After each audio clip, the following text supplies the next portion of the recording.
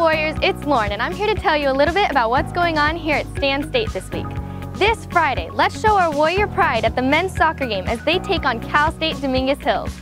Sign up for the Warrior weekend trip to Wake Island Water Park this Saturday. You won't want to miss out. Head on over to the JC Penney in Modesto for the Suit Up event to help students put together a fabulous professional appearance while saving up to 40%. For more events coming up here at Stan State, visit the University Events calendar. Have a good week.